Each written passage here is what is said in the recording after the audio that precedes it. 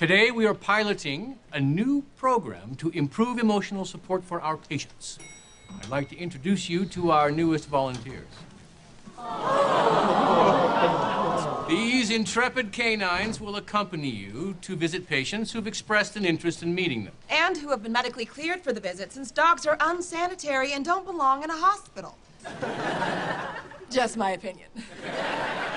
I'll leave you to it. Have fun working with your doctors. I was thinking it, but I didn't say it. This is so great. You know, research shows that a therapy dog visit can really benefit an anxious patient. Research also shows that dogs aren't doctors. Nowadays, you stick a vest on a dog and suddenly can go anywhere.